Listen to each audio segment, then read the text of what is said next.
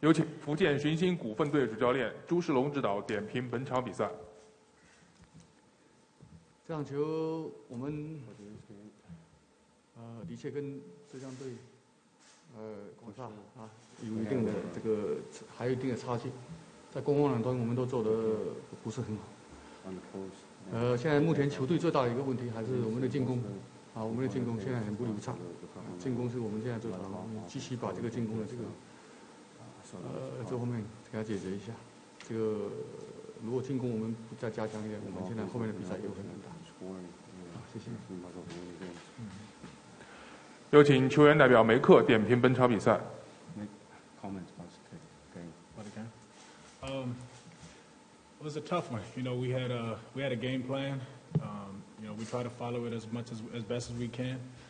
You know, early on, you know, we did a good job of sticking to our, sc- our scout.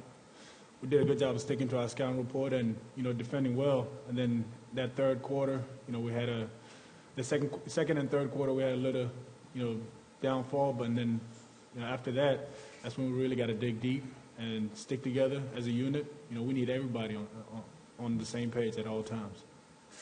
啊，我觉得现在整个球队来讲的话，其实今天的比赛大家还是按照这个呃比赛的这一个计划来执行的。 开局的时候，因为我们对对方也有进行研究，啊，但是呢，在第二节和第三节的时候，确实出现了一些问题。但是我觉得现在球队里最重要的还是说，大家遇到这样的困难的时候，还是要团团结在一起来来打球。下面是媒体提问时间。本场发布会到此结束。